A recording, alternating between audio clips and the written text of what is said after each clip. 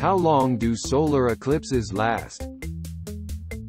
During the brief period of totality, when the Sun is completely covered, the beautiful corona, the tenuous outer atmosphere of the Sun, is revealed.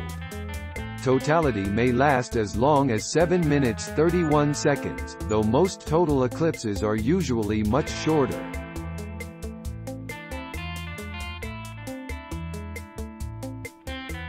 Thanks for watching.